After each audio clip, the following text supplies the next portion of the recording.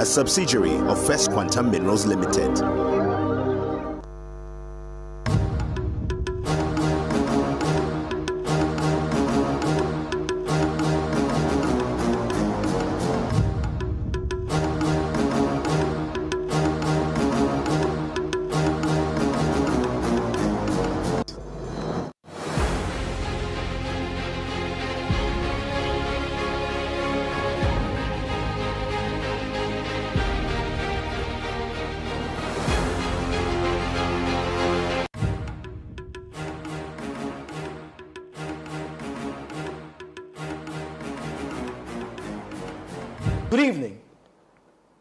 Exchange rate, high inflation, these are signs of a badly managed economy.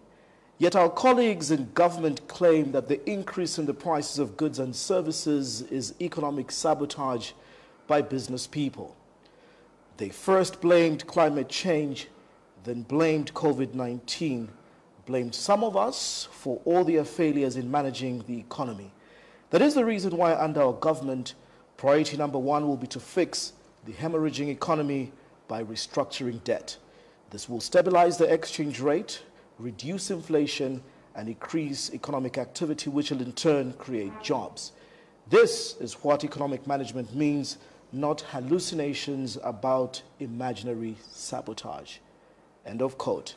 Now, on this day in 2021, President Hakainde Hichilema said these words on his Facebook page as an opposition leader. Today, we take a look about what people are saying about the UPND leadership.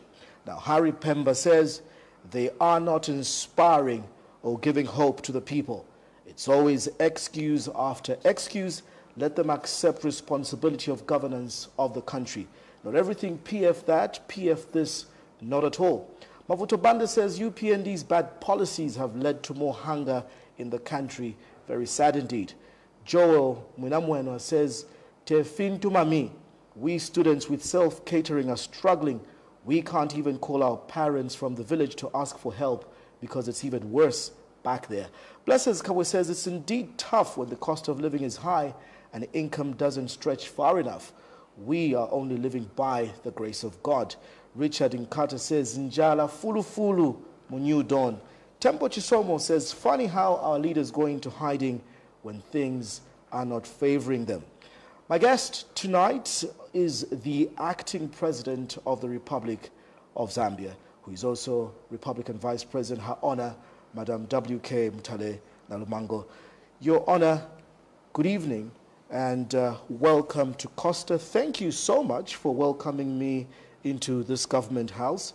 And um, I did get the memo on social media that you were ready for me. Indeed, I'm equally equal to the task and ready for you. Thank you for inviting us. Thank you.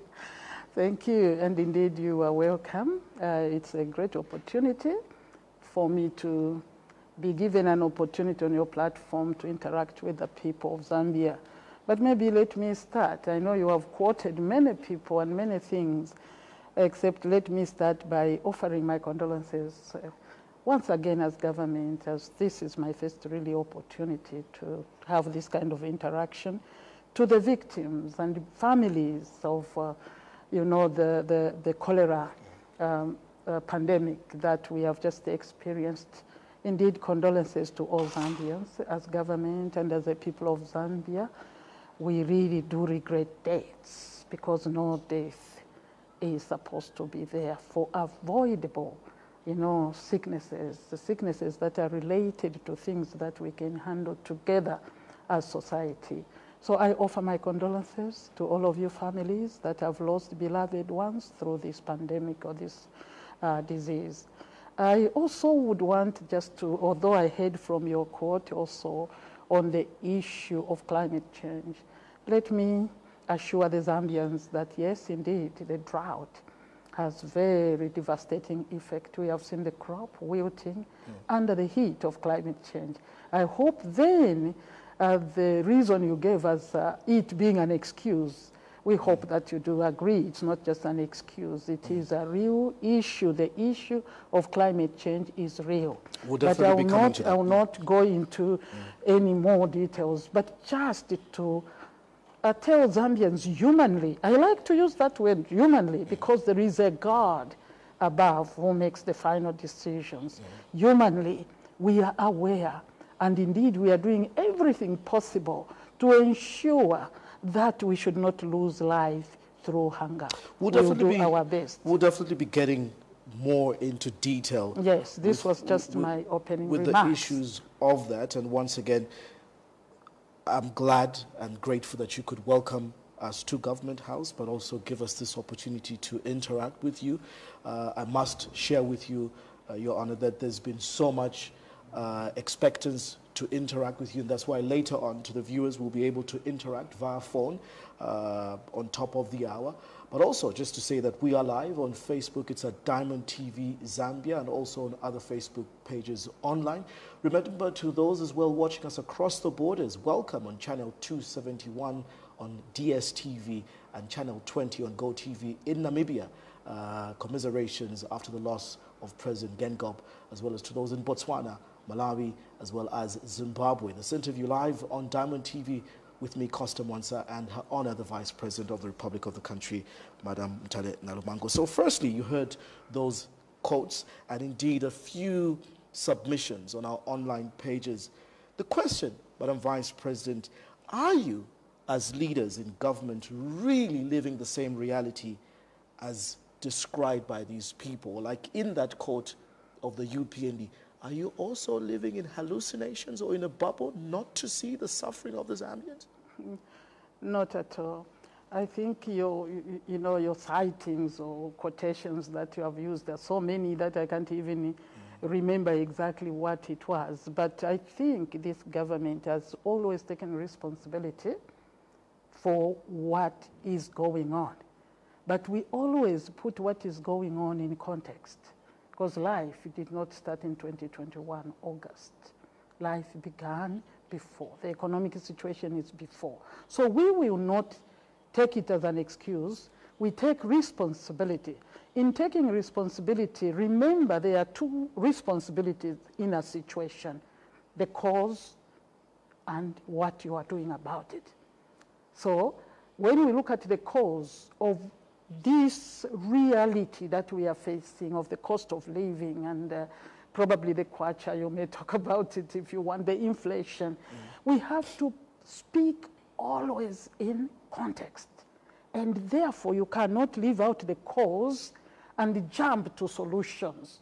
Because if you don't know the cause, you can never find a solution to any problem. And therefore, when we refer, somebody says PF this, PF that. When we refer to PF, because that's the foundation, that's what we found. And we are tackling what we found. And there is no way we can avoid talking about PF, not to push what we must do today to them, but we are working on undoing the negatives that were left. That becomes our responsibility. Mm. So I think the biggest discomfort, Madam Vice President, for many Zambians is that we are two and a half years probably into the New Dawn administration. In other democracies, this can be described as a midterm, mm-hmm. you know, uh, mm-hmm. election. The UPND was voted into power on the campaign premise that you knew and the Zambians knew that they were going through bad economic management under the PF. So you promised fiscal and prudent financial management. You promised reduced cost of living. You promised better micro and macroeconomic indicators. So I think what the people are asking you is not wrong, is to keep you accountable. Two and a half years that have you delivered on this? And allow me uh, just to make comparisons of a few indicators between 2021 and now. Um, inflation, for example, in 2021 was at 22.2 percent. It is now at 13 Inflation, not inflation. 24? I'm quoting the, the central bank. Okay. 20, uh, Inflation? 22.02 percent, Okay. and now it's at 13.2 percent. Great. Mealie meal was at 123 kwacha per 25 kilogram bag. It's now ranging between 231 kwacha to about 320, depending on where you're buying it from.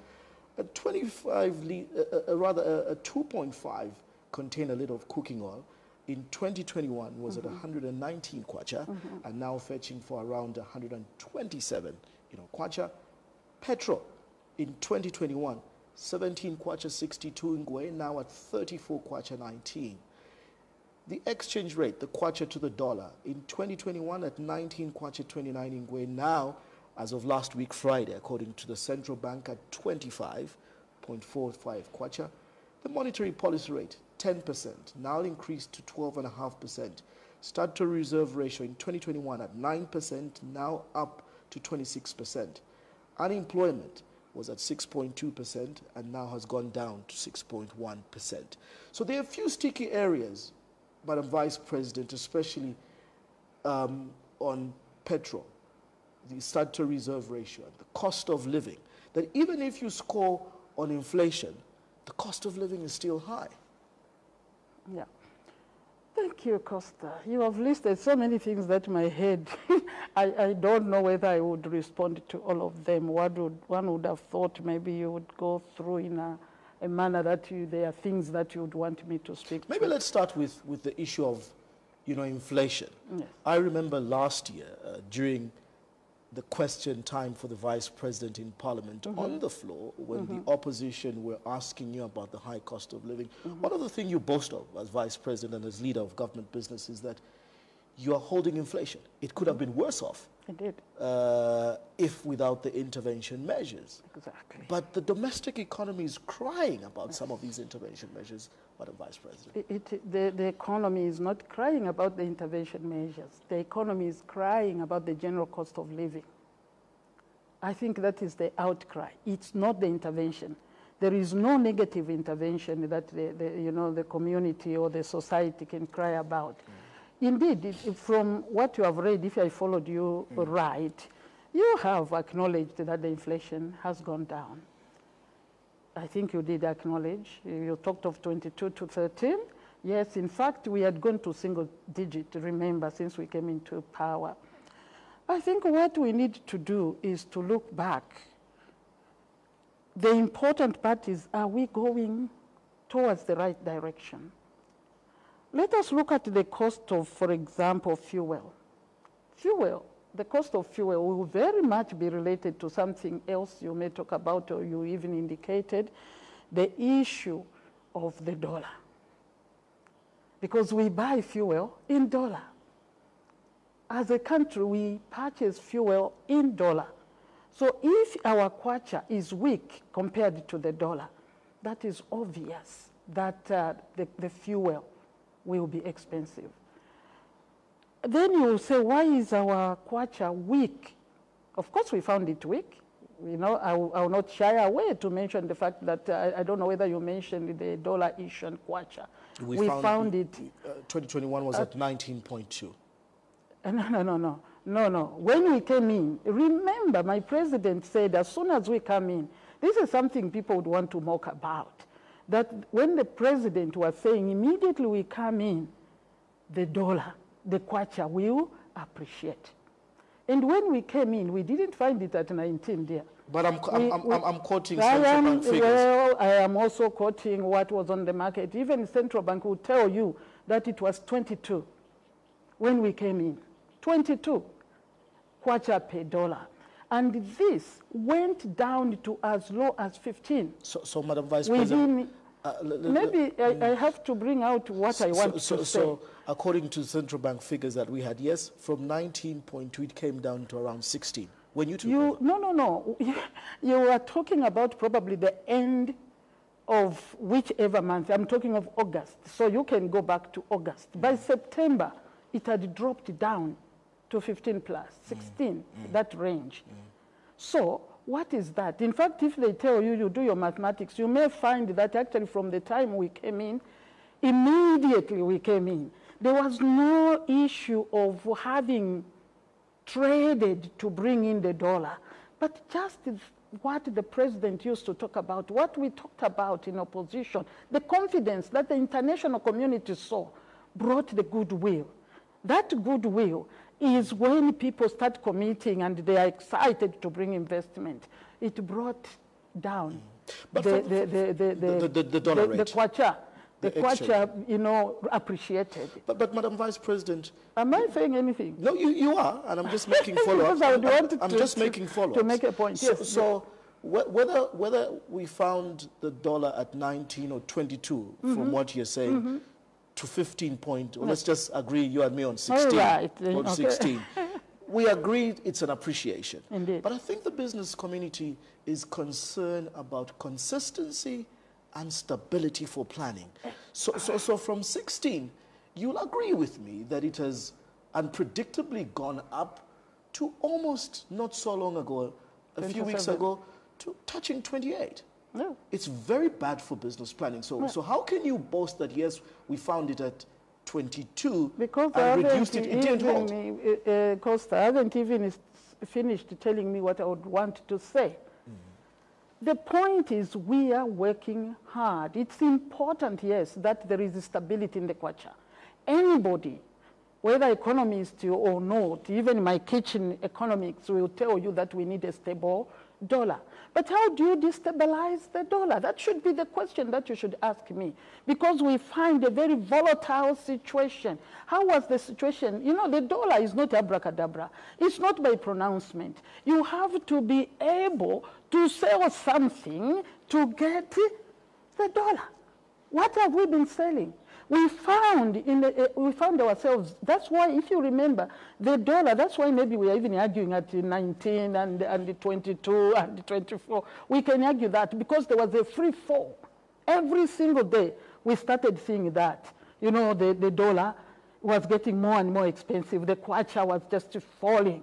Why? We should ask ourselves. That is the situation we found ourselves in. And if there was no winning, the dollar would have continued because there was nothing else that was going to hold the dollar. Because, one, you have to look at the, where do we get the dollar mainly? Where is, where do we earn our foreign exchange as a country? Yes, we have dreams, but as at now, from that time up to now, our main foreign exchange earner is copper. And our colleagues mismanage the copper mining. You will realize that the copper Mopani Glencore had left, left them with literally no capital. A very bad arrangement where they left because to them it was not viable, and yet government inherited one close to 1.2, 1.5 billion. They said they had to pay Glencore. Where from? There's no capital to even mine properly. And you know that has been the situation for Mopani. What, what were they thinking about? Where was the money in the treasury to invest? Even if you say let Zambians invest, how did they expect the Zambian government to invest? To invest? That means that foreign earner was out. KCM was under liquidation and was literally being stripped off. There was no earning. FQM, you know, First Quantum, you know, mine, was also on the way out because of the inconsistent policies in the mining sector. That is loss of foreign exchange. Whether you talk of Lumwana, I'm just looking at the big mines. All these were literally, you know, not operating to capacity so that they can bring in the kwacha. You sell your copper, you, I mean, you bring in the dollar. And it is the more dollar you bring in, the, the more strong or the stronger the kwacha gets. So but granted- that was a problem. So- so- and this is the problem. So- so we are working, um, um, uh, Costa, to see, in fact, you can tell that right now we are working, Mopani is getting So, resuscitated. so we'll be coming to the mining sector, but uh, uh, again, to because quote... we are related, it's Yes, difficult. No, I, I, agree- I, I, agree. I just want to Okay. counter re- react as, as you're responding on, Yes. on the kwacha. Okay. Um, you said at the beginning that to every effect there is a cause. Indeed. So I agree with you. You were trying to explain the cause of why we're We not are selling we anything as a country. And you described the situation you found as a free falling kwacha. Indeed. How then would you describe what is currently happening?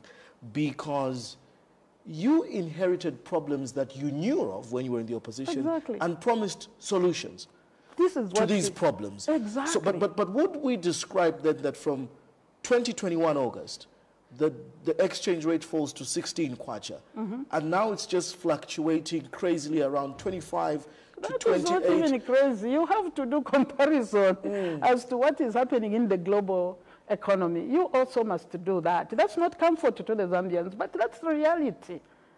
That's reality. So what you should ask me is, what are we doing to try and improve on this instability of the kwacha, the, the, the exchange rate? I think this is where you should ask me. That's why I thought I could uh, comprehensively give you the picture that we are working hard. Uh, hence, my question is if you describe what you found as free falling, Yes. how would you describe what is currently obtaining Uh-huh. as stable? Oh, it is, you have to see how low did we fall. You know, colleagues, it's important that uh, even when we are reasoning out among ourselves, we say, where would we be? Because it's important. Where would we be? That's a very important question. And if we would have been there, why are we here? If we would have been better, then you should ask me that, what have you done? But we would have been worse. But we brought it down, and then it starts falling. You know, the, the- the- words down and up can be confusing, but I hope you do understand. We brought the kwacha, we strengthened the kwacha. So the rising, actually, they will tell you it dropped 30, it has risen 31 since we came in. It is because we were able to hold it. How were we able to hold it? The goodwill helped us. How are we able to hold it? That goodwill has helped us bring in a dollar, even from, you know, from IMF, you know that World Bank. All these are things we have done. If we didn't bring in this goodwill and the negotiations going on, which you probably would want to talk about the, the, the restructuring, where would we be if nothing was coming in? Do you think we would have But, been where but- we but are? even, even with these So interventions we- of what you're these doing, interventions are helping, but, but, but not this is not the enough. rate, but this is not the rate that No, certainly you at all. promised and, and is good enough. Not at all. But remember also, it, this is not the rate. We would want things better. Uh, let me, let, me, let, me, is a let me give you a small personal practical example, Yes. Madam Vice President. yes. In November last year, the station of Diamond TV acquired football rights to show the Africa Cup Yes. in thousands of US dollars. Yes. We were negotiating at almost 25.4 per dollar. Mm-hmm. By the time the competition was finishing in, on, on February 11, Mm-hmm. we had hit a loss of almost 300,000 kwacha due to this instability. So what do you tell a young SME like me eh, to gain hope that really you are planning and doing things in my favor when I'm bleeding 300,000 Zambian kwacha? Exactly. The issue is you must have confidence. Look at the positive as you look at the negative. The free fall. I, I think it's you who said we went up to 27, we are here. I cannot post about that. It's also still part of the fluctuation. Some people are saying, how did it drop? Some of these are things that will begin to show because of what probably you would talk about. We, when you bring the dollar issue and the kwacha, we must then quickly go to the issues that will help us stabilize the kwacha. And these are the things that you probably say, let's talk later. But I'll tell you that we have to earn the dollar. For you not to have the, the kwacha just falling. We have to earn the dollar. It, it will not do, you know, for us to just talk and say the dollar. We have to earn it. How are we going to earn it? The plans are there. And there is, you know, it's good that you people talk of roadmap. Roadmap is not a point. It's a, a road map. It's a long distance. And when you are descent so low, then it means this roadmap must be really taken. Our plans are working and they will work. I can tell you with confidence that the plans that your government has will soon start yielding you know, fruit. It will start yielding, my dear. You are aware that Mopani is bringing in dollar. The, and that, the- the that question is, the question the question is when. But but just The question is when it's already coming just- in. ju- you are just to- aware that we have already received. Just to follow your lead Uh-huh. in terms of you, you want us to go into the interventions, but uh, for the sake of the viewers, uh, forgive us on the hiss in the background sound. We are broadcasting live from Government House, and uh, rains uh, are heavy uh, outside for that. right now. Uh, obviously, good for for farmers. So please forgive us on that um, uh, background sound coming through from the rains. But but back to this, um, the depreciating kwacha. Well, has necessitated an increase in Mm. terms of intervention measures. The central bank last week Mm-hmm. held their quarterly briefing. Right. Uh, one of the things Dr. Denny Kalyalya said was that our economy is in a critical condition uh, and we must do something for it not to get into runaway or hyperinflation. And this is a mm-hmm. patient that needs surgery. So, mm-hmm. among the things that have hap- happened, obviously, is one, the increase in the statutory reserve ratio. Mm-hmm. Again, the monetary policy rate was mm. increased, the highest in three years, increasing the cost of borrowing, thereby limiting access to financing. Now, the question is then, Madam Vice President, does government recognize that these measures mean that the lives of ordinary citizens are about to even get tougher? It's, it's time to brace for impact and tighten the belts tighter. I I think you are going to the business entity, and I agree with you. And for me, eh, without being, uh, having all this economics understanding, is that these are stopgap measures. We cannot fully depend on this. How long? It is not sustainable, but it is important. In any crisis, you invoke every other thing that can help you. Hold on, but it's hold on. It's not a permanent solution for me. That's the way I understand this. It is to hold, you know, the free fall. But there must be a sustainable way that will make, that will stop this free fall of the kwacha. That is important. It was important for the central bank to do that so that we don't continue rising because sometimes you go too far. Even when permanent measures are brought, it becomes difficult because the, the road becomes longer. So what they did, I commend them. But uh, generally in our plan, those are managing our economy, but we have to plan our economy. In our planning, we must have a sustainable way to ensure that we can bring in the dollar rather than go to the, uh, you know, Uh, uh, to the central bank to start working their monetary policies and uh, also to hold the, the, the, the dollar from the reserves or anything like that. We are working on ensuring that we can truly have, we can truly have a sustainable mm. economy by looking at what the economists will call macroeconomics. You know, that's what you call. How do we look at the big issues? How do we, for example, tackle the real inflation? How do we tackle the real fall? Not this. This is just holding So, it. so, so, so we, we are just holding it. Granted, you agree, and these are stopgap measures that are not in the long term. No. So, how then are you as a government looking at timelines in terms of when you're, you're telling us, let's hold on, let's be hopeful? Indeed. But these are harsh economic times. Exactly. Uh, and the only way out, like you've said, is increased productivity, not only in the mines, but for private sector. That's the only real jobs that will create liquidity uh, in the economy and will create jobs. But how do we expect to do this when some of these short-term measures are hurting the private sector? It is a combination. You know, it's a bitter pill. Sometimes you need to swallow a bitter pill in, in, in order to get better. This, like I've said, are stopgap measures. They have to help us get to the meaningful sustainability that we will provide. And even now, the job creation that we are talking about is still happening, yes, under very difficult circumstances. We are not saying the circumstances are not difficult, but the manufacturing part is going on, the mining part is going on. We thought agriculture would be a booster to our economy. Uh, well, I, I, I heard some kind of rains coming, and one would say, oh, praise the living God. But you have seen the policies in agriculture. How, in our belief, humanly, that this was going to be another, you know, way, other than the manufacturing, things that we promised in our in opposition, manufacturing as job creation, value addition, as a way also of being a, a, a, a dollar earner, if you want. We also said in agriculture we will do that. We also said in mining we will create jobs. And these things are on our books and they are going on. but the situation is still rough.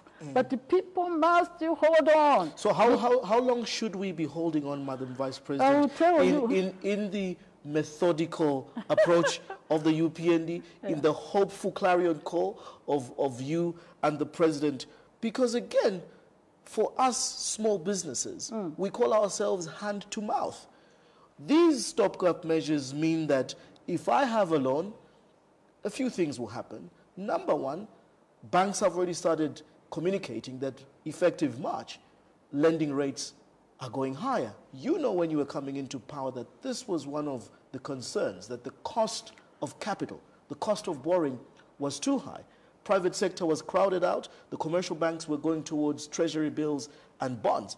This means that borrowing becomes more expensive. If you have a loan, you're a teacher, you're a nurse, with a loan, you've bought a car, you've bought a small plot, it means your, your months to service this loan will have to be extended. And this is exactly, Costa, those are the issues that we want to resolve. We promise to resolve and we will resolve. Please, Zambians, do not judge us on two and a half years. The manifesto that we gave was five years. I think it is important that to undo, this is why you say in Parliament, I say what? Th- There was a lot of, I don't want to use wrong words, I don't want to say rot, but the economy was dead. And we are struggling to bring it out, up. And there is no way you avoid certain things. We could have avoided, but the international also, the global economy, which you are better placed to know than I am, the global economy also works out. Basically, every promise is done in uh, an environment. When you promised your wife, you'd, or is it girlfriend, that you will look after her, you will buy her a car, it's because you are in a certain position. When that position changes after the wedding, if you lose your job, your wife will not leave you because you are not going to buy the car that you promised. You have to look at the environment. We came in, there were things we are aware of, for example, the date.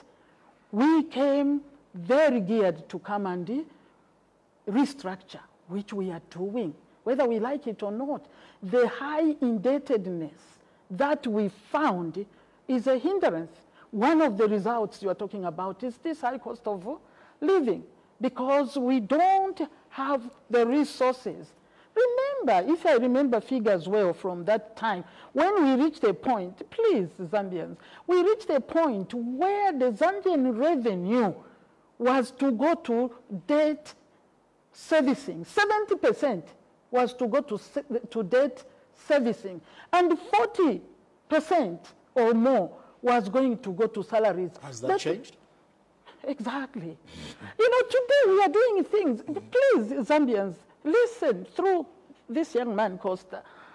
You know, when we came in, wha- what is it that is not happening? In fact, you have to say the cost of living is related to the two, which are also intertwined. That's what I said in the beginning. It is the cost of oil, which we have no control over. The cost of oil at the international market. So when we were talking, making some promises, they were within a given, you know, environment. We are not responsible for the global, you know, situation, the wars and things that are happening that have pushed the cost of oil.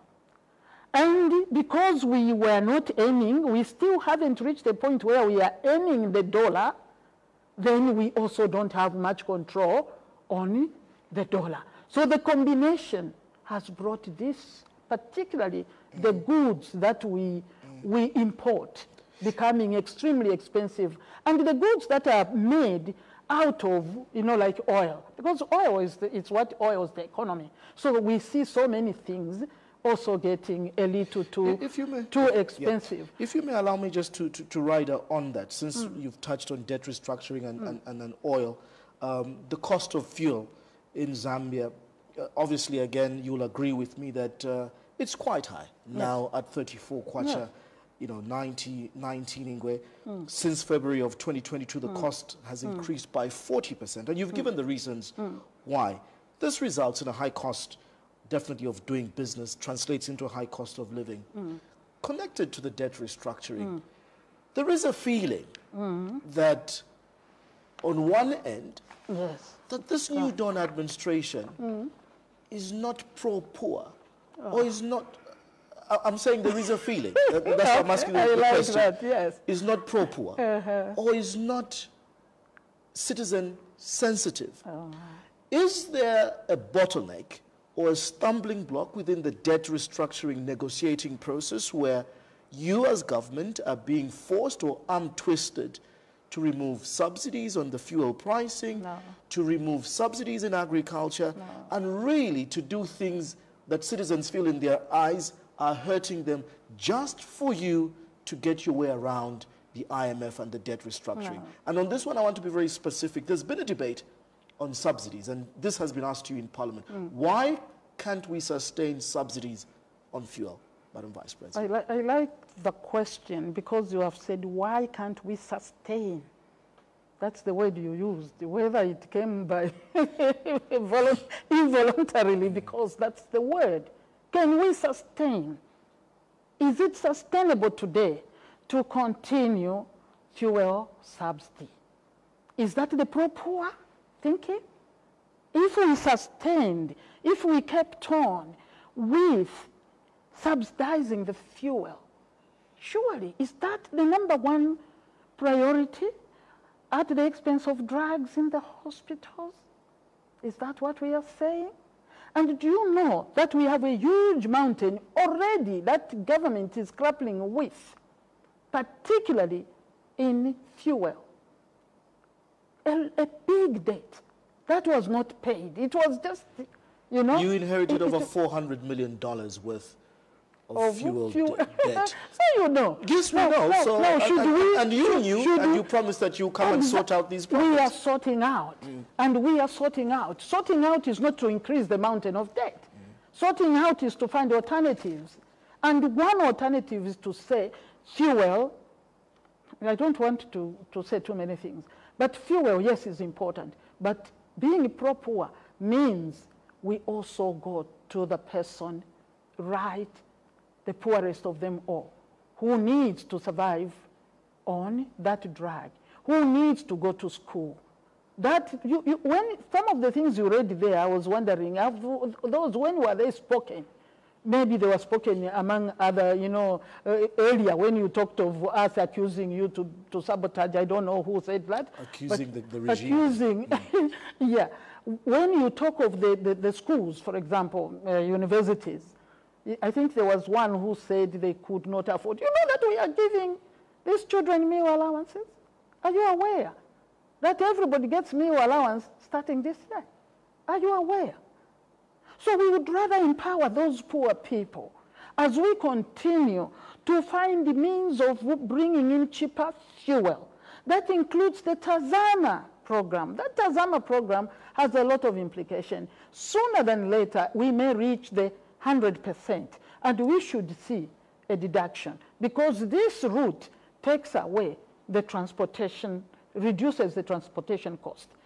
You may not have seen them because when something is bad, to see the good things, it will take time for mm. people to experience. You are aware that in the fuel issue, we are also doing the blending project. All these are means to try and bring down the cost. yet being seen. But the key is the dollar.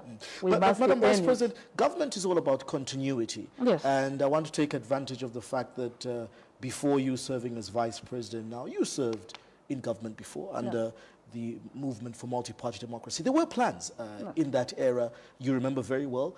Um, strategic energy reserves. I Mm-hmm. think there were there were storage tanks being put in place uh, within provinces. More recently, I think in a month or so, when the price didn't move at around 33, 34 kwacha, Mm. the ERB told us that they were using what they were calling a strategic fund to sort of. Just the- to keep it. J- to just keep Just it to there. keep it. But, but again, whether it's an issue of terminology, they refused that it was not a subsidy and so on. Mm-hmm. So the argument for some has been that as a, as a sovereign state, uh, even those big Paris Club nations that we're dealing with, uh, who, are, who may be telling us that you cannot hold subsidies. Do subsidize when situations hit, hit certain matters. So uh, what I'm trying to ask is, do we have strategic reserves as a country? What has happened? What is happening at Indeni? What, what is happening with our reserve? Do we really have a reserve? Yeah, I think those are things to look at that can be discussed, probably better. We need uh, strategic reserves that are here. But it all comes from the indebtedness that we have. How do we handle this? In which, which, which resource? The little resource that was there, you have heard that they said they already used it to hoard the, the, the fuel. But when you continuously say IMF is telling us, mm. that's why my president says, please let us not blame IMF. IMF is not the one telling us. We have to look at our own economy. That's why I said, is it sustainable? Are we going to continue to subsidize fuel? When we already have a debt, you are the one who said 400 million US dollars. Do we continue to add? Where is this resource supposed to come from that we are going to pay this? So it, the issue of subsidy is not an imposition on the state, on us. It's an it internal is, choice. It is for us to be able to clean up. Because for us to grow, Costa, we have to, to, to clean up the mess. We have to clean up the debt. We have to start living for, for, for today. We have to start. And how do we start? I said the bitter pill may have to be swallowed. But you also asked the question earlier, how long? I think that is a very fair question. How long can people hold on? Won't we swallow the pill too bitter that it, in the end it becomes poisonous? No, no, no. There's no poisonous pill. that is a saying. You don't have to have a poisonous. It's bitter, but it is medicine. Mm. When they say bitter pill, it means it will cure you. And we have, for example, the things that we are doing should immediately start helping us to bring back the Kwacha into some normalcy, including the restructuring. I think when the biggest challenge, Madam yes, Vice President, yes, on fuel yes, for the Zambians has been the, the monthly review. I'm sure you get this in Parliament. I'm sure you get this at, at church everywhere, and, and, and, and everywhere. Mm. Um, when President Hichilema was appointing the new PS, PS Peter Mumba, mm. his instructions were very clear that you need to review this pricing. And interestingly, we saw that just after the PS went into office, that's the month that things, you know, were held. So again, why is it taking so long for government to reverse whether this is an error in judgment, to go back to the three months uh, uh, planning cycle? Um, because honestly, uh, even if you say free education, and then a child has to jump on a bus today, it's 10 kwacha, tomorrow it's 15 kwacha. Uh, it, it, sort of draws back from some of the gains you're having. So the, the, the inconsistencies, it's bad for planning, this monthly review. I'm sure the people that worked on that as government, there was a, a, a, reason. The reason that personally I saw in this, the, the, the, good reason that I saw, is the issue that you, you want to keep a price. For example, if we, keep, we kept the price at 20 because the dollar was 20. And now you have been talking of the dollar changing. Then it comes to 27. How do you handle the difference? How do you handle the difference? It is easy to plan like that if you are subsidizing because you are not counting what the state will pay. But it is reality. The good part also is that this we saw, yes, we haven't seen much of the drop in the fuel price in this one month, month uh, thing. But I think we saw it one time, a little drop. That is just an indication that that little drop was probably when the Kwacha did better. So what we need is the Kwacha to do better. That is what will give us consistency. Because if, if you are going to say no, every time, you know, three months we plan, and the Kwacha, the dollar, becomes something else. There is always that difference. But if the price at the international, you know, market, the, the price of oil or fuel goes down, there should be a benefit to the Zambian. It is just because we have not seen much of the kwacha being strong. When it is strong, I think people can appreciate this uh, monthly because they will also gain. If the, the kwacha is able to buy more, basically the dollar is cheaper, they buy more fuel, they will be able to sell it at uh, normal and make a little more. The pump price will also be affected. It will go down. Mm. So basically it is being determined by the international market. When you put it at three, because it doesn't mean that if you, you say now every month, you have to increase every month, even if the international market is not increased.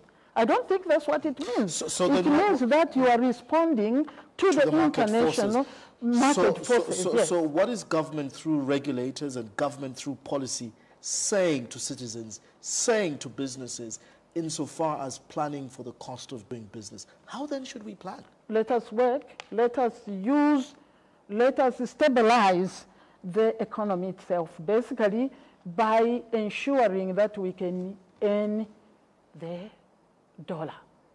We can earn the dollar. You, you, you, you, you are quick to stop me from saying, for me, it is where do we get the dollar from? It is important because the dollar will not come by abracadabra or by our arguing here or by being political here. It will not come. It will come because of the good policies that this government is putting in place. The good policies that is in, you know, attracting investment into the country, investment that will grow the local economy through manufacturing, the good policies that will make the mining industry grow and once again bring the much needed forex, which makes the dollar, you know, our kwacha stronger. This is what the government has put in place. Today, you talk of my president all over. He has gone to negotiate, and you have seen the goodwill. So much commitment from people that want to invest here. This is the hope that I can give to the Zambians, that there are many investors that want to come and invest in our country. And as they invest, what will come is they will bring mm. the dollar. And when the dollar comes, which shouldn't be you know, we can work hard together. And, uh, you know, I hate to give timelines because our plan, for example, if I tell you about Mopani, Mopani has already brought in some money, some dollar. And we hope that, uh, you know, come 28th of this month, they'll bring in a little more. And then by the end of the year, we expect that they are bringing a 1.5 or somewhere there billion dollar what is the implication of that? The implication of that is that we will have the dollar and then our kwacha will be stronger. Mm. That is what no, it no, means. No, we also have investment that is coming through Lumwana, my dear. Mm. When that comes also, they have committed 2 billion. The project has mm. begun. So we are expecting this filtering in of money. We cannot change, we cannot make the kwacha stronger without having what to sell in order to bring. Agreed, agreed, Madam Vice President, that uh, we are not producing Enough. exports yes. to balance our payments, mm. or the balance of payments. And that's they, what you uh, call it, As yes. they call it. Yes. Uh, I was on the Copper Belt just last weekend, yes. and one of the street terminologies being used for the mm. UPND leadership is -huh. they uh-huh. call you Wash Promise, Vana Promise, because, -huh. because mm -hmm some of these things you talk about, 1.2 billion, 1.5 billion, mm -hmm. sound very sweet and nice. Yes. But these are pledged. No, no, no, no. Uh, uh, if you allow me to finish my uh, uh, question. okay. These are pledged investments. Mm -hmm. and like you're saying, yes. It, it, let me give a case of KCM, for example. Yes. We, we still have not had a deal locked in with Vedanta because just last week we saw that the provisional liquidator has put in the High Court that she's calling for a scheme of arrangements to be negotiated, especially insofar as payments with creditors and suppliers. 1.2 billion pledged investment, but the mine is indebted in excess of 4 billion. Yeah. You, you speak of Mopani. Yes, there was 80 million promised. We know that 30 million dollars has been paid. No, no. you mean paid out? What are you saying? I was there uh, so mm. far from the 80, 30 has begun being paid to critical suppliers, and, and that money will be coming in. So again, in no, the aspect... already in the 80. Go on, go on, go on. Well, well, well, well That's what you got. So, so whether eighty million dollars Yeah. uh, is in, Paying the people that were owed by Mopani. That is Yes. the purpose. And that is also you should appreciate. so, so, so part of my job is to interview people and give you feedback. Yes. And I'm telling you that uh, from what I gathered on the ground, uh, obviously suppliers and contractors are being paid in bits and pieces with critical suppliers 1st and then the Arab uh, investors are saying we want the mines to kick in very quickly to start getting a return on the investment. So my issue then is how do we balance, for example, the KCM issue of indebtedness versus these pledged investments? Because it's not that the 1.5 or 1.2 billion is already in. No, I didn't say that. I actually mentioned the same figure, the 80, and I expect, not I, we expect that um, around the end of February we will get, they'll, they'll pump in another 150. That is for Mopani. That is the expectation. In Vedanta, yes. And, and, you know, again, we are doing the very best that colleagues that you should have held accountable. They have escaped the hook. They are the ones who did what they did. They liquidated. They liquidated the company. It's not productive. But we want to bring it back to productivity, to production, and hopefully productivity. But you did refer to the 25. They have also started to bring in that little 25 to pay the current because the West is to make the mines, you know, the mines uh, uh, uh, get uh, flooded. So basically, there is the 25, which should help the current payment so that the works continue, the salaries and so on to those that are still operating. As they bring in all those things we are talking about, you know, to pay the owed, you know, uh, people whom they owe. So those are also positives that you should look at, that the mine will continue. And it is our hope that this does not take again another one year. The, the, the, the thing, the, the new contract has good things in there. If they fail, there is something that the, the state or government can do. So are we rather gu- than are- are we- grabbing what you saw. Are we, are we guaranteed these investments or they're merely Yes. pledges? No, no, these are That's not why pledges. I'm asking you. I could have, yeah, yeah. That is the issue. There are commitments Mm. and also there are actualizations. The issue, for example, of Mopani is no longer a commitment because the commitment is when people say, we will come. But the things are there. They are already on site. Who brings the 80 million if you are not going to start? And 150 within this month, hopefully, it will also come. Those things are already agreed on. Who talks, whether we, we like it or not? It's not a commitment that today, First Quantum, which was going down, like I said, is now, you know, didn't just commit, but they have brought in, remember the nickel uh, mine, that is not a commitment. It is here. But because we had gone so far, I was saying to somebody that, you know, when it rains in Mwinilunga, you know, Mwinilunga, at, at the, the, the, the, the, source of Zambezi, it, it is actually raining better in northwestern.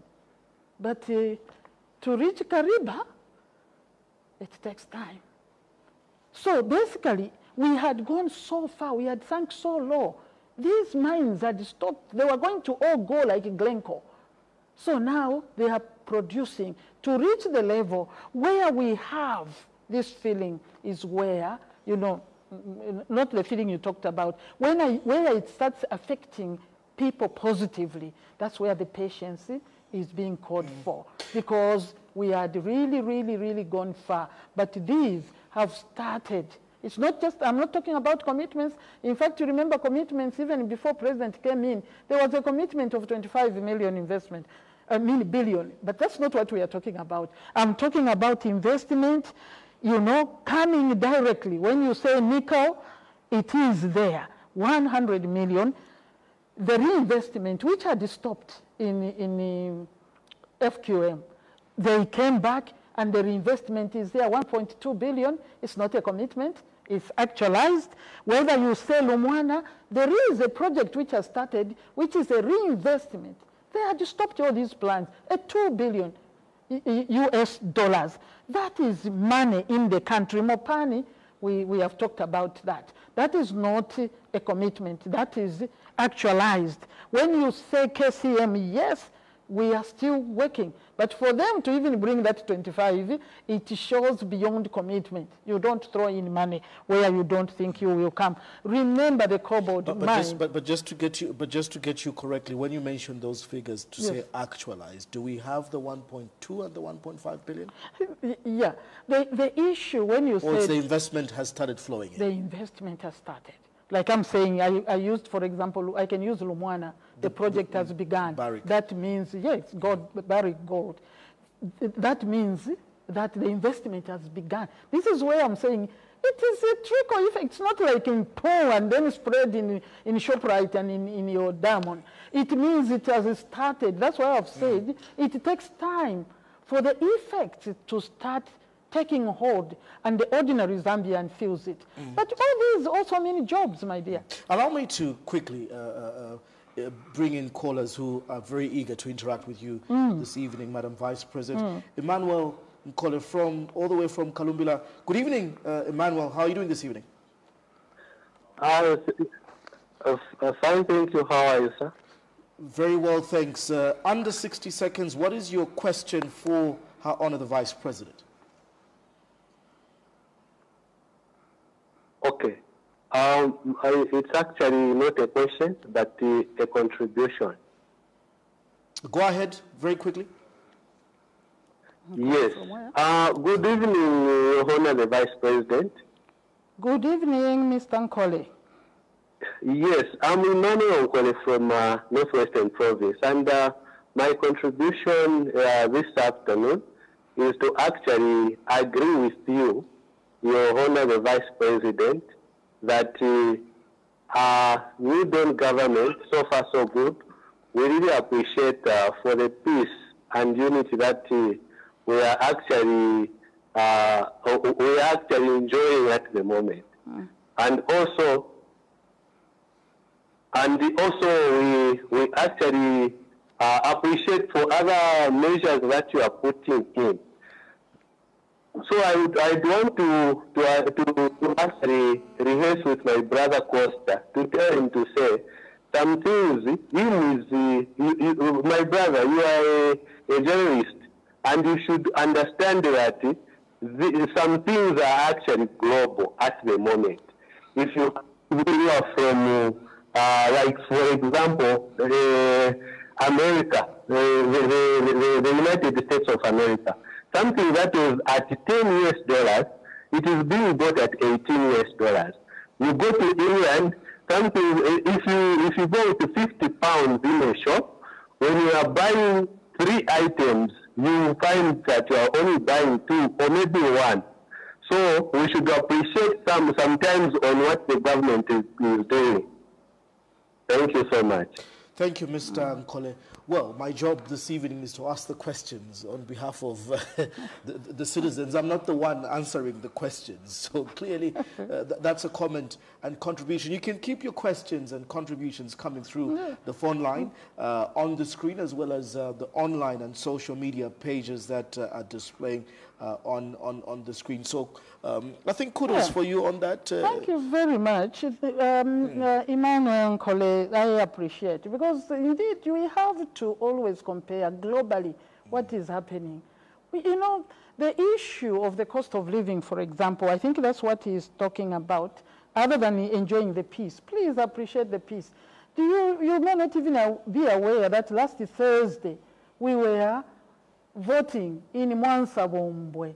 Did you hear of Pangas there? we are very well aware. you- Uh, then you have to bring the good also out.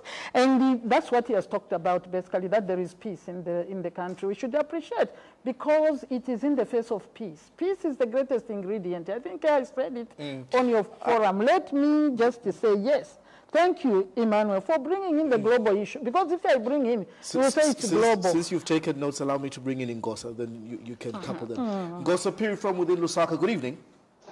Good evening, Costa. Good evening, Madam President, Vice President. Good evening, how are you? Uh, go ahead with your question this evening.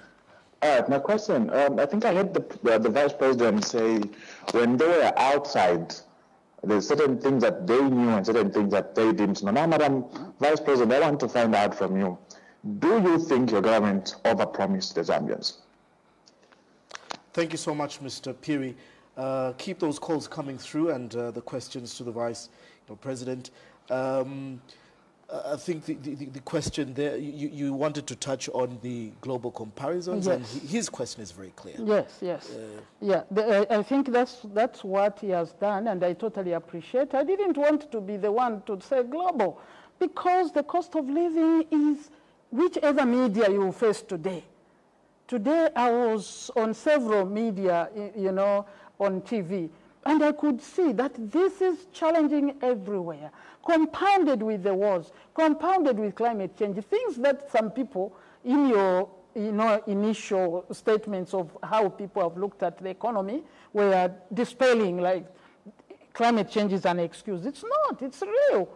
So we are not the only ones. We thank God It, that it was the UPND that was telling the PF to say they should not use COVID-19 Oh. and climate change Okay. as an excuse. Are you sure?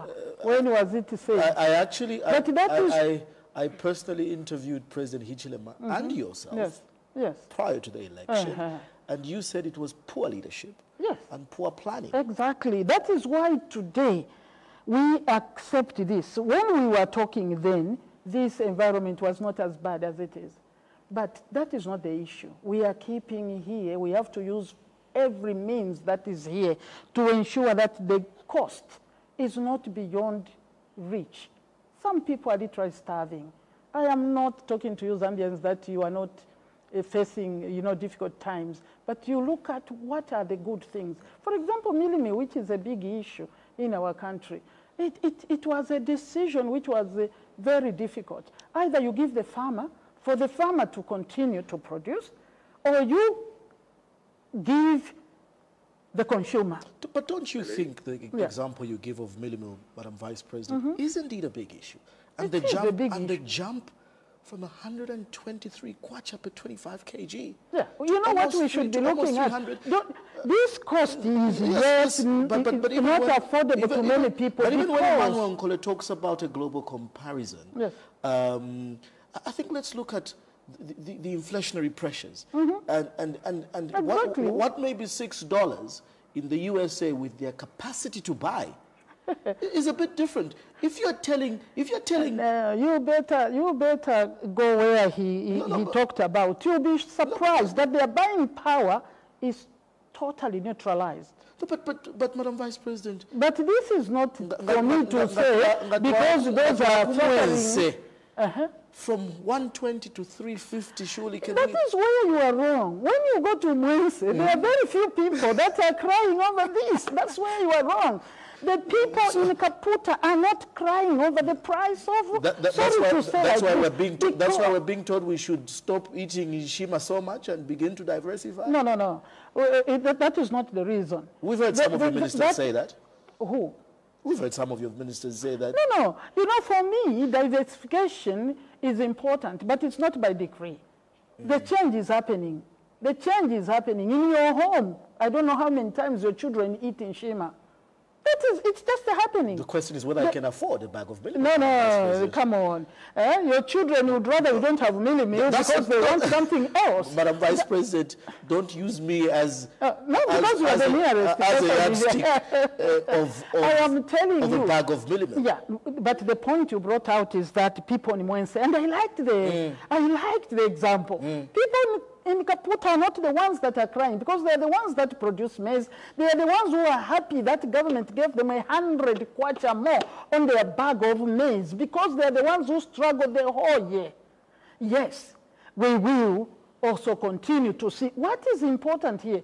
I'm sorry to say this to many people, but what we need, yes, the inflation must be controlled. That is the issue. The issue is that the salaries of people, that is another angle. Otherwise, you don't want a farmer to continuously work and get nothing. And this is why I was telling Yeah. you, Madam Vice But President. can we move to even if Ngo, he's- Even if he says the dollar in, in the US, it's the capacity to buy. If people don't have enough disposable income, it But- means but, nothing. you know, when he made this comparison, what he meant is even the capacity to buy in the dollar itself, in the dollar land, the dollar land, dollar land, in the dollar land is not the same. This is how bad it is because you can think of a gallon, you know, they buy in gallons. The gallon also shot up in fuel. You have to, you, you are the journalist. Next time Yes, we meet, be- be- because you of the find oil out prices, from but- there. but I'm sure yeah. so, so put if the- mitigation if the people, no, there's nothing mitigation. They are also going through a stress. They, They are also they- they going put through on mitigation stress. measures when the Biden administration said they'll start buying a million barrels of oil uh, in, in every month. They were putting in mitigation measures Well, because they well, had the capacity. Haven't we put in, and you are giving the answers. Are you the one who should be answering? You are saying they had the capacity. So where is your capacity? That's the question I Do to know. you have? The, this is why we are saying let's ma make the money. Let's, our, our programs are to create the capacity. Create the capacity, which was totally eroded. There was no capacity, no nothing in your treasury. Come on, you should say, but how are we doing these things? There was no capacity, colleagues. Two years, and our time is five years. Judge us, but at the end of five years, I can assure you that indeed we will have overcome some of these challenges. Before you answer the second question, there's a Mr. Charles Michelo on the line from Kabwe. He's been Okay. insistent. Mr. Michelo, good evening. Good evening, Costa. How are you? Fine, thank you. How's Kabwe this evening? Yeah, good evening, uh, Honor the Vice President and the Acting President. Good, uh, good evening, Mr. Michello. Thank you. Actually, mine is a contribution and a question at the same time. Uh, yeah, Honor the Vice President, ku mitotera the way you are coming out and articulating issues to make us the Zambians understand. First and foremost, I would like to appreciate your government and our government for the peace that we are enjoying, that we never enjoyed during the time of the PF in government. I remember very well that where you are there being interviewed by Costa, that time you wouldn't have even been there for more than five minutes we would have interrupted the program. But thanks to the government of Hakainde Hichilema and you who are honorary vice president for the peace that we are enjoying. My question is, I think if I remember very well, late last year, you commissioned as a government the uh, Indeni pipeline. So I don't know how far the government have gone with the Indeni refinery in order to reduce the cost of fuel in our country so that it can also cushion the cost of living into our country, especially in transportation. I thank you so much, Your Honor. Thank you, Mr. Charles Michello. Uh, we will be taking the, loose, uh, you know, the last two, uh, you know, core contributions and then taking to, you know, online. Uh, I'll give you time to respond to, Okay. to, to, the, to these two. There was Mr. Ngosa, Yes. uh, who actually said, I said that uh, we knew th- some things and we didn't know others. I, I don't think I really said that. I think I would be, you know, wrong to say we didn't know certain things that were happening. We knew. Maybe the extent of destruction mm. of the I think his, his final question there was, based on these two scenarios, did you overpromise the people of Zambia? Exactly. Mm. Yeah. Th- Did we overpromise? And he, he went on to say, I said we knew we didn't. No, we didn't overpromise Zambians. That is reality. We didn't overpromise Zambians. If you look at our promises, actually you'll see that we have done so much. The cost of living has too many components. But if you look at the promises, in fact, Costa, I have this. As, as, as, apart from being a Christian and my Bible is my Bible, I also have our promises here in the manifesto. You need to look at the manifesto, um, uh, Mr. Ngosa. We didn't overpromise. You may talk about the cost of living, but we promised in, in- you know, to, to develop the human resource. And how do you do that? We talked about education. Are we not performing in education? Can we honestly say, what have you done in education? We have brought in free education. Don't see it as little because maybe you were able to pay for your children at school. But there are many people who have gone to school. And today the agenda, the global agenda, part of the global agenda is human capital. And for us to develop properly in all these you those spheres of fields we are talking about, we need human capital. And this is why we have invested in human capital through education, from primary to secondary, and then we even are giving meal allowances. Of course, the, the issue of bursary and loans has been there, but we are working on increasing those things. That is something that we promised, uh, that is Mr. Ngosa. We also promised to uh, take development all over the country, equitable distribution. One way we have done this is the, through the CDF. Please, you should say, you guys, you said there was no money. But we, today we are able, for example, 20, 2024, this year, they'll get over 30 million in each constituency. That is equitable distribution, not when you start giving and it is given. There is something that I saw in one of uh, you know, the writings, the people concerned who said, can you give this CDF equitably and at the same time? That is exactly what it is. The money is there. What we need to build now is the capacity for people to use CDF because some of them still have 2022 money. Every, that money is reserved, reserved for each constituent. So I'm just mentioning some of the things that we, yes, please. we have done. Mm. This is a second thing we have done. Look, we, we talked of, we can talk about the retirees, for example. Mm. You know that. But, Madam Vice President, yes, um, we didn't overpromise. Oh, that is the uh, issue. What we promised, we are running through just. Just a rider uh, yes, on, on his on Ngosa's mm, question. Mm. Um, Many feel, or some feel rather, that uh, when this question of not delivering on campaign promises is raised, you, you, you, you pick on only the few that you can point at.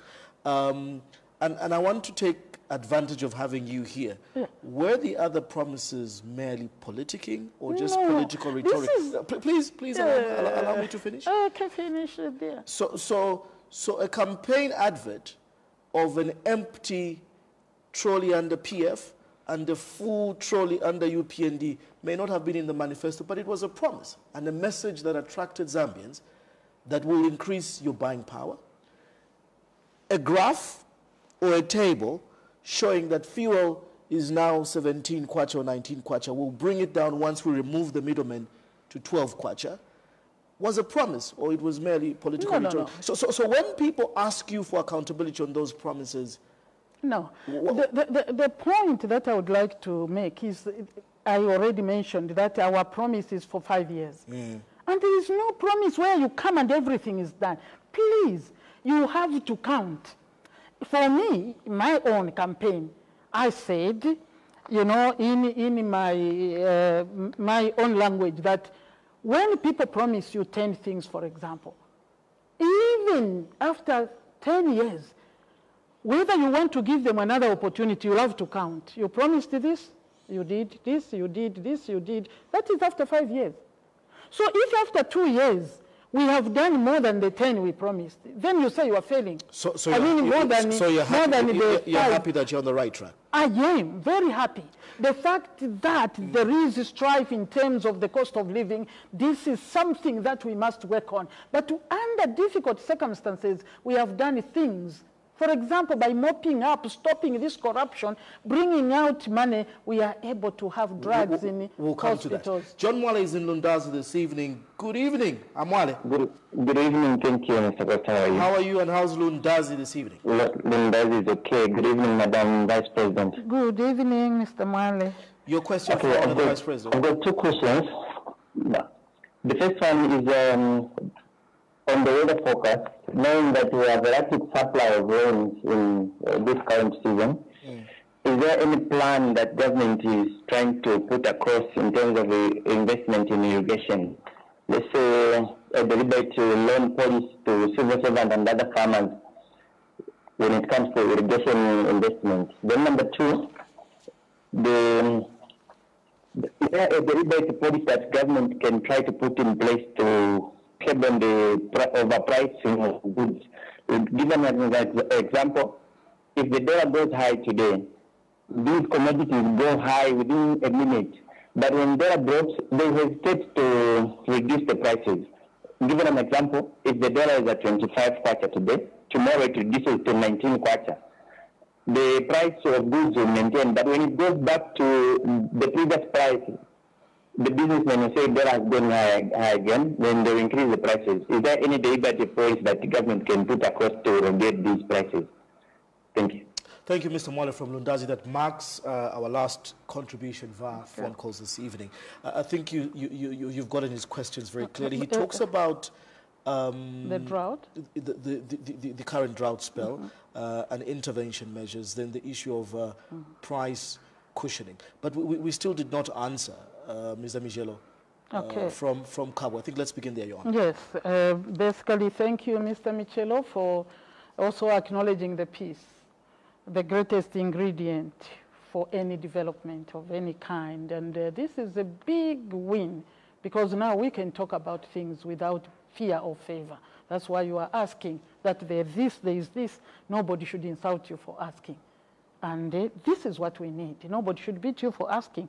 That is how we gain from each one of us because being in government, we don't have the entire reservoir of wisdom, knowledge we need to have an interaction like this one. So we appreciate it. It's in the, the face of peace.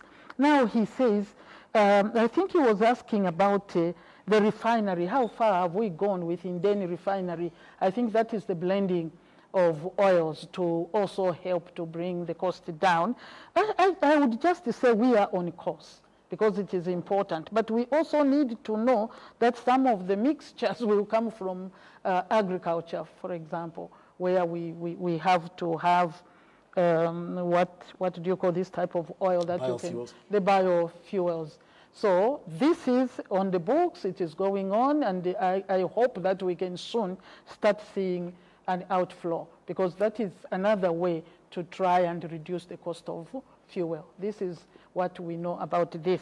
But I can't give him A the timeline. specific uh, time because I haven't really been briefed as to whether we have even started any production at all. But this is why, you know, we had to redo the then, you know, profile change from what it was to being ready to do the blending. Before you answer, you know, uh, Mr. John Mwale's question, I'd just like to also, because I had this question uh, uh, already, your portfolio as vice president directly oversees, uh, you know, the disaster management and -hmm. mitigation. Mm. Um, you've had these spells in the last two years where half the country is divided into floods due to heavy mm -hmm. rains, mm -hmm. the other, you know, into, into drought. Mm. The, the, the, the, danger right now, when you look at the, the forecast, not only for Zambia, but for, for most parts of SADC, mm. and the president on Friday mm.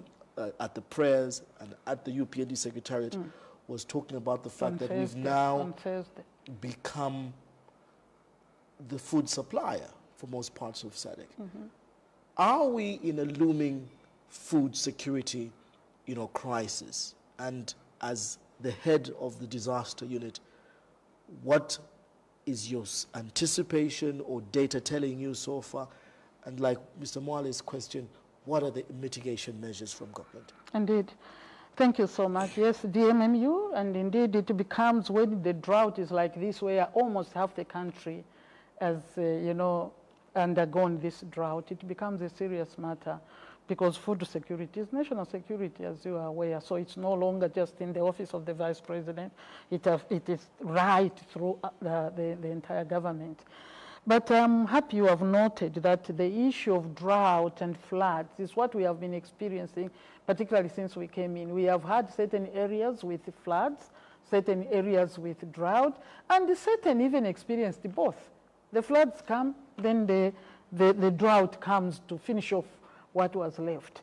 But the beauty is we have not had a crisis to a point where people are left to just, I don't want to use the word die. We have been there. We have supplied maize, because where it was, we pulled together. But we didn't have the situation as it is this time. This time it's huge. But I am still very hopeful, Zambians. One, we still have the crop from last year. We have half the country that is, it is raining. And because of the call from the president for people to go into agriculture, because of the same issue, remember we were stressed because, you know, last season, including up to now, I, am sure you are aware of this smuggling and things like that, things that this government wants to do away with so that we can do proper trade rather than smuggling, so that there is proper earning. Because smuggling doesn't, doesn't even, you know, show really what we get. So with this pressure, that's why the president had that call that let people cultivate, and they cultivated. That includes where the rains are. There are more fields where the rains are. So we are expecting that, and remember the policy now of government is that those who got FISP have to sell to no, not to government. deviate not to deviate from Maybe the I finish Yeah, also. This time, can I be the one to say, let me finish? You've brought up a very important point on the But, uh, smuggling. and I wanted if to I finish, you can put the important point. Because what you have raised is very important. You have said, do we have any plan? And I think that's what Zambians are concerned about. How are we going to feed our people? The Lord God will help us. Number one, we have to acknowledge his, his you know, supremacy, the supremacy of God over Zambia. But remember that because the president called on the farmers, particularly the, the, the commercial farmers also, to grow the early maize, which we expect to start harvesting uh, probably within March. That was basically meant for export. But we may just have to buy to cushion this crop failure. That is one way. And also to ensure that we have to ensure that our people have enough before we can think. Because that's what every parent so, so, so I'm quoting you correctly. You're using the, the words very carefully. We may have to buy to cushion. Yes. May have to. Yes. Now, the, the challenge that, that seems to be causing a bit of apprehension and uncertainty on the market Yes. in, in terms of this, this looming drought and food security. Just last week, your Minister of Agriculture quickly announced a ban on, on, on maize exports to begin to assess the situation. exactly. This, this puts pressure again on people wanting to smuggle because there's high demand, we know, in the Congo. The question for me, Madam Vice President, why have we never ever gotten it right? We know for a very long time we call ourselves a potential breadbasket of the region. Mm-hmm. The president was saying this last week with you, mm-hmm. you know, on Thursday. We know that Congo wants our maize, mm-hmm. Kenya wants our maize, Zimbabwe wants our maize. But, but, but why haven't we gotten it right in terms of a quarter that we grow for exports and earn money away from, from copper? But also on a domestic level, is that if there's panic on the smuggling, the cost of, of the mealie meal becomes high. And Zambians already ask, why wonga udula if we have a bumper harvest? Why wonga udula tirima chinyanja? Why? That, that, that's, that's the issue. Mm. But also simply, uh, that's why this, the issue you, you, you, you brought Mwense. So Mwense is different from Lusaka. Uh, Bwanji, you know, don't take me into Nyanja. why, is the cost of mealie meal high? Yes, the panic buying, buying comes in. But the issue I think that you started with is, why haven't we gotten it right in terms of smuggling? This is what the president was dealing with. You have to deal with both countries. I'm using one country, for example. If they need it in, in, in, in Congo, we have to agree that can we stop? Can we do it right? Can we export properly? Because if we do, then the people there will not be forced to come and buy from us at a smuggled level. This is what this government is doing. We already have done the quota system you are talking about because we believed humanly that there will be food because people grew, including myself. Now I'm a small farmer. That people, a lot of people did one hectare, two hectares, whatever, and we thought there would be enough food. And we already did agreements with colleagues like the Congo you are talking about so that we do proper export. Maybe that would cushion the smuggling. But smuggling also is a vice. It's, it's, it's, a, it- it's not right. And the people that do wrong will always be wrong and they will always be there. So we have done that. But to cry, why is the mealie meal expensive? I think the chain, the chain is right. One, we had to increase the selling price for the farmer because it's the one who has toiled over years. But you have talked of the fuel issues. The other issues also play a role. That is why when we say, please buy a bag of maize, you know, but in Zambia, when you say something that is reality, people think you are crazy. My president says, buy a tractor to train and I'm a tractor town. I mean, you mean, you mean, you can't really reason what the person is saying. So when a person says, hammer your meal, you know what it is? Me, I eat hammer meal. That is, I, I mean, I, I eat hammered meal, not, not uh, From the chigayo. From the chigayo. Now, if you buy 50 kg at the cost that, for example, government had put it, I want to go there, that will give you 48 kg hammered, 48 kg of mealie meal, which will be cheaper than one bag of uh, whatever mealie meal you are talking about. And those are some of the issues. But also, we have to have many people. This, this should be policy. I liked what Father, Father Lupupa said uh, during one of these gatherings in the showground, that let everybody dirty their hands. So, so this is a policy direction you, you're encouraging Yes. people to plow and so on. Yes. But, but I think uh, I, I wanted to touch on smuggling very, Mm-hmm. very quickly because it's, it's this panic. Mm. Uh, uh, uh, now, the immediate danger Yes. is the fact that, uh, yes, you're telling us to pray for rain. Though others are mocking you that you laughed at them for praying, you're now doing the same No, no, thing. no, no. Uh, yeah, your, your political opponents are saying you, you, you, you told them they were mad when they were calling for prayers for rain, you're doing the same. No, no, no, we But- but- but- said they were mad. but, but the issue is this. Uh. Um, uh, allow me to quote a colleague uh, today. I saw a very sad video. A colleague, Isaac Moipopo, spent around 80,000 kwacha in investment on five you know, farms. Mm. His maize is completely gone. And he's written an article urging the government to say either is there a possibility of ZNS, the fire services, assisting in some sort of irrigation, just like John Mwale was saying, Hmm. is there any intervention or mitigation measures to save some of the crop? If disaster strikes that the rain does not come, Hmm. uh, crops will be dead, people will lose a livelihood, Hmm. animals and livestock will die. What are the intervention measures? Indeed.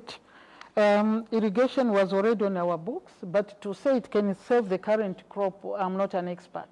Because uh, I'm seeing my own field. How quickly can I go and drill a borehole and uh, start watering? That would take experts to say so. If there is such possibility, government would uh, willingly do that. But we are also aware that we have to go irrigation whether it is this season, that one should not wait. We have to support people to start irrigating the crop. We have to. But whether to irrigate this crop, which is already getting affected, I can't say that. But we have to produce something under irrigation to also cushion the amount of crop that we may have. I was referring to those that uh, did water, that planted the early, early, early maturing Maize. and the others, the, the areas in the northern zone where it is doing well. Irrigation is one way that we should work on. Government is already thinking of that. How quickly we must move, and this is where we say colleagues in the service, civil service must help us work quickly. But to help people like Maipopo, or indeed many other farmers, I can't say because I've seen some of the crop like you, are, you have, where it is literally dry. Can you retrieve that? But he also talked of uh, overpricing. Yes, he was uh, asking when, when, when the dollar goes high, Yeah. because we need to, uh, you know, align to global practices, prices go high. Yes. When it appreciates, Yes. the prices don't come down. That, that is the normal, but also, even if they were to come down, it needs time. Because when you have imported this pen, it is not going to sell today. And if the price, if the dollar goes down, it doesn't mean that I will recover with this pain. It will affect the next consignment. I think that's the way they work. I'm not a business person, but basically if you import something at a, a higher price and then you want to drop it, it will remain until the stock is over, then another stock that you go and buy at a cheaper, mm. then will also go down. Mm. We, we, it will be very difficult to start price controls to a point mm. because we are a liberalized economy unless things get out of hand. You saw under this liberalized economy how we have had to bring in ZNS to cushion on the cost of milling without telling the millers to stop milling. They also are free to sell. It's competitive. In conclusion, Madam Vice President, uh, we, we, we, we have really exhausted time. Um, not the issues. Not the issues. I, I, I, hope I'll be given another chance to uh -huh. come and bite at more issues. We still have lots of interesting, too, many. Too, many. Uh, too many. But finally, uh, I just want you to touch on this. Um, we are two and a half years into your you know, tenure as the New Dawn government. You're saying we need to judge you on the basis of your manifesto and five years. You're calling on patience, you're calling on hope, and that you're doing something. For you to get into government, it takes a political party, and, and, and politics are always at play. What is your reaction to what is happening within the political space right now? The opposition are amassing what they're calling a movement, uh, whether it's UKA that they are calling it, or basically saying the people are not happy with the UPND. They are calling you a one-term party, and, and, and they're saying the country has never experienced this. Some calling for an early election, some calling for your resignation as, as, as, as, president and vice president. What, what is your message to the people out there? Are you, are you, have you feel you've performed? Should they be believing the opposition really that you are a one-term party that has failed to live to their aspirations? Or, or your message or reaction to the opposition? Yeah, this is uh, very, very important for you to say that, that, um, you know, we, we are one termer. That, that's our politics. You know, politi politicians can be very funny. Because like yourself? no, I am a statesperson. The reality is politicians sometimes dream. Really? Can people who are calling themselves UKA, who are basically PF, basically PF, if, if, if you give me time to say, go through their performance, including the dollar you have been talking about, what did they find and what did they leave? They found, themselves found a very strong economy and they ran it down the drain and they want Zambia. What will Zambians be looking for from UKA? What would they be looking for? From people that inherited an economy growing close to 7%, is a percentage, eh? To bring it down to negative. Then today you want to talk and say, they, they left it at almost negative two. We were growing that time under MMD. Boom. So what are they talking about? They found the mining, you know, the mining, mining industry almost thriving. They brought it down. What are they coming for? They found a peaceful environment. They themselves brought in, you have heard, almost all the callers have spoken of peace. They robbed the Zambians of peace. UKA, do you think they are forgotten? Mwai group, you are the same PF the same PF who split. And now they even want to say their split is being caused by UPND. Come on. Is that not their style? Pangas, America. Pangas. That's what they did. Even just at the coming in of President Lungu, it was pangas. They know it. And today they want to come back and do pangas to the Zambian people. I, do you have I, the confidence of the citizens other than the opposition playing the, politics the, the, talking the about opposition will play politics. Do you have to the confidence Zambian, of the citizens? I still think that they are far more intelligent than the UKA or whoever they are, are saying. They think they are unable. The Zambians are able to decipher from all the lies. They are able to tell the truth. I mean, they are able to tell what truth is. They understand. They even understand the genesis of the situation we are going through. And therefore, I believe that the Zambians, the Zambian people do understand what we are going through. And this is why we should be giving them the hope the hope that I've tried this evening by saying the economy will peak. But you're also the politicians, real issue, Madam Vice the President. real so, issue, so why should the Zambians not judge you the same way when you say politicians are very Because- funny people? Why not say we are very funny people? Oh yes, you can, if you want, you can say that. But the reality is, we should be able to tell Mm. Zambians what has the UPND done since coming into office. Are you sure? Yes, the cost of living, we hear it, but there is a lot more things that this government has done, and the Zambians are counting, like we have said here. You can list them. You can list them.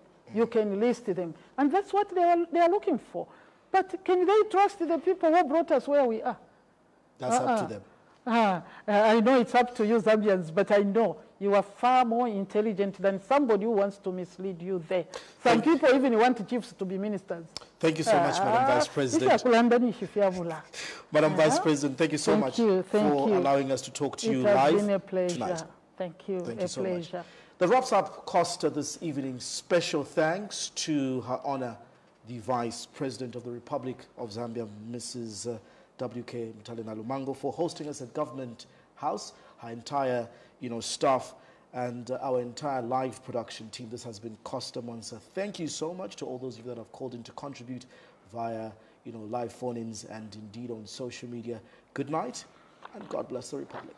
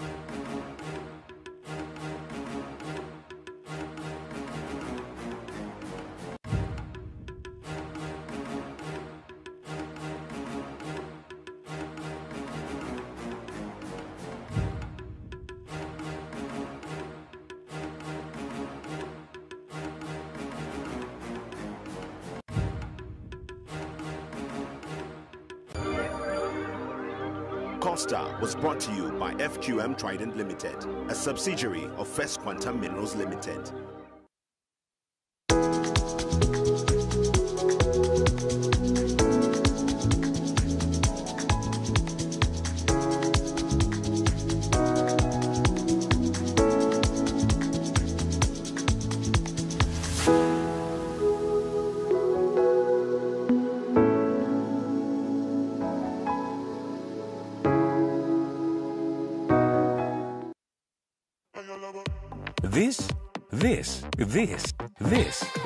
University of Africa. On the streets, you get your real education. Here, everybody has a degree of something. But the most important qualification is imagination. His reason is to be the GOAT. The reason to imagine is, is to take the beat and make it lit. So no matter what your situation, just use your imagination.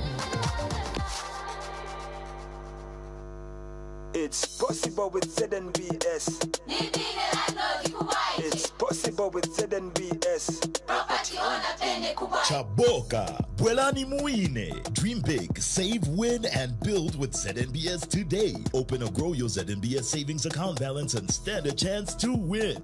A residential or commercial plot with building materials, a whopping 50,000 kwacha or 20,000 kwacha worth of shopping vouchers. Or you can be part of 10 lucky savers to win their share of 250 bags of cement every month. Just a minimum monthly deposit of 2,500 kwacha for individuals and 5,000 kwacha for SMEs. You are automatically eligible to participate in this competition. Start saving with ZNBS now. The more you save, the higher your chances of scoring fantastic prizes. With ZNBS,